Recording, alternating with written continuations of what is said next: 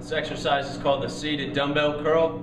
At your gym, you can find yourself a flat bench or a bench like this with a back to it.